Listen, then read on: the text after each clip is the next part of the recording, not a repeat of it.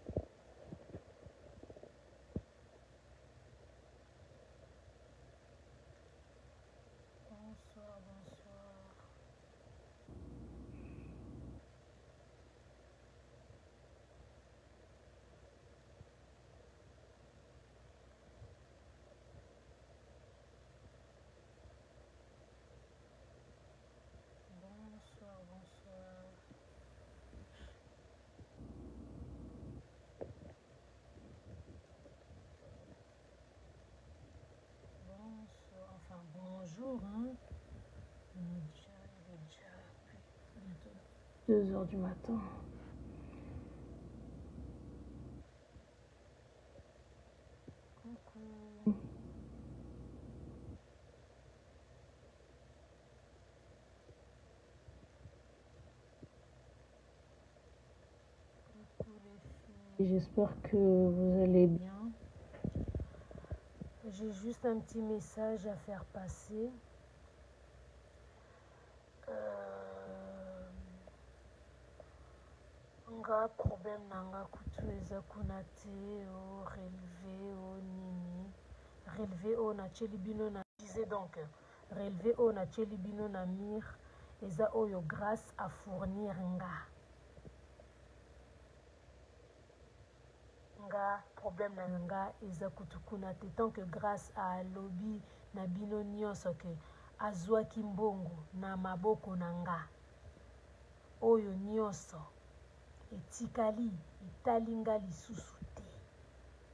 Na ko se justifiaka lisusu mpo na makambo oyo te. Mpo nga mbongo Grace azuaki, Grace mpe alobi apesaki bango. Alors que faute ezala na releve ezala te. O bomonaka oyo bino bomoni mpo yango mpe kaka oyo nga nazui. Alors, Mwa Chimene. Je ne viendrai plus jamais me justifier pour cette histoire parce que j'ai vraiment plus que ça à faire. Naza vraiment lisusu na temps te ya koya kolinga ko se justifier ka kolobela makambo. Grâce m'a fourni papier oyo a fournir nga papier oyo banque na ye bapesi ye ewuti na banque ya John. Nga nayebi ba ma French bank oyo te ba bank en ligne oyo nayebi yango te alors s'il vous plait nalingi kutu moto ayaka su kotuna nga motuna te o oh, chimene o oh, mbongo o oh, nini o nini na na besoin oyeba te oyo bafingaki balobaki basalaki bazongisaki naza lisusu na besoin ya makambo wana te na vie na nga Po nga Chimene grace azwaki mbongo tant que grace azwi mbongo après ekomi makambu na bango nga Chimene naza susu wana te po na se justifiaka. Alors voila quoi oyo vraiment nazalaki na ngo ya koloba yango wana to ko se justifier ke bele bele naza na ngo te oyo nalobi lelo ekoki ndeka nayebisi bino papier natie na mire na nga oyo grâce à fournir nga Nalobi yango pe je le repète papier na tie na mur na nga eza papier oyo Grace a fournir nga que banque na ye ba fournir ye alors na lingi lisu mutu pasi te mutu ayaka ko tuna nga makambu o mbongo na na temps ko lia 400 euros mutu te pona ape muyibi te mobali na nga pa muyibi toa mpe na temps ya kolia mbongo ya motu te nga moko kutu ye wana vaze azalaka na mbongo na nga nafingake mpo na mbongo na nga naoke eliesu mbongo ya bato nde yemi eza mpe na bitude na nga te alors s'il vous plaît oyo nyonso etikali question botuna nga te mpo na oyaka lisu te kolobela makambo oyo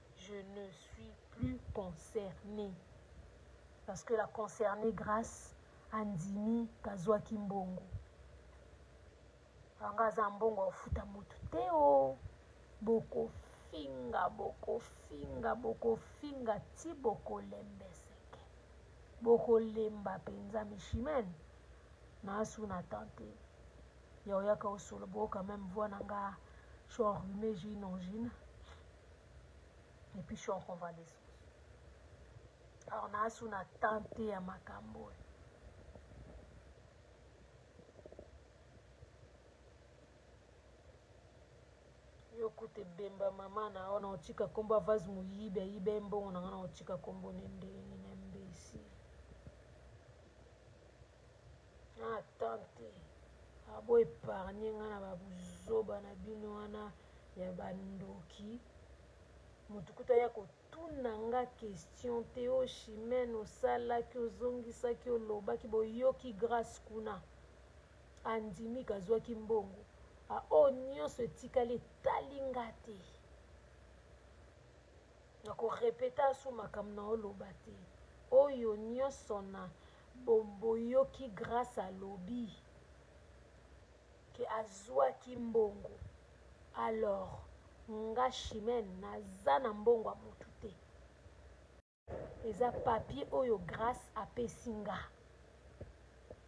mutu a fournir nga papier oyo eza grace que banque na ye ba fournir ye alors arrete de me faire mal à la tete bokomela nga ba bikoma koma etali nga te etali nga te na ko se répéter lisusu te na makambo oyo se boya na mposa osolola clarisse bisalu la dona na fabienne makaya bando tyela bino ba voice bo bando yoka yango kuna mpa na bango na badirect Mais nga mutu aya otuna nga lisusu makambo ya mbongo te po nalie mbongo ya mutu te. Je m'en contre fiche na ba mbongo na banga pa pamba.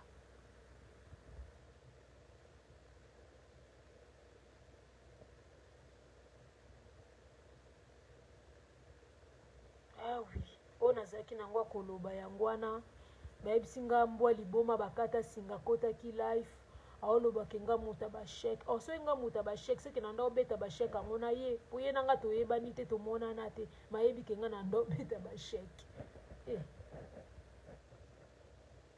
mwa mosala batindi aye osala ye wana aye mpe mbango aye osala life moi je pas ton temps boufonne pauvre fille en tout cas les filles voilà bandeko oyo nazalaki na yango koloba yango wana naza na temps lisusu ya kojustifie te na makambo oyo boyoki grace azwaki mbongo alors botika nga kimia nalingi su moto akomela nga te atuna nga eloko Ah merci beaucoup na tiki bino bisous te bisous te ah bebe na nga Clarisse Clarisse Bisalu la dona wana bebe bebe shira mama na ye clarisse na ozala na bavoice moko na opesa yo oyo azosenga bakomela ye misusu misusu eza nango na okabelo nyonso mponga chimene mpenza na makambo ya mbongo na oya su te na olobela yango su te oyo amoni ke akofinga banda lelo ti yesu akoya afinga oyo amoni mpe kakolobela banda lelo ti yesu akoya alobela mpo na nga le plus important grâce à ndimi devant bino nyonso akazwaki mbongo après le reste c'est pas mon problème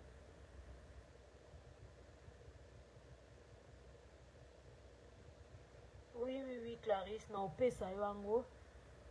Na opesa yo yango. Na opesa yo yango comme ça okipe kipe kipe makambo yango. Oh, ye mpenza na asu na temps na bango te kwa.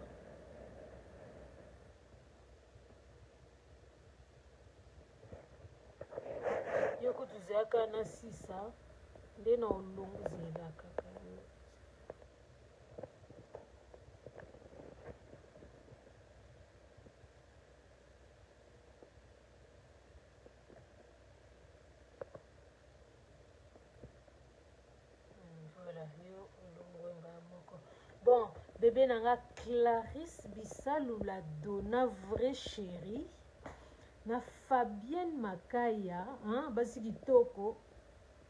Hein ba faux compte oyo ba leki ba compte nioso na gaz na succès.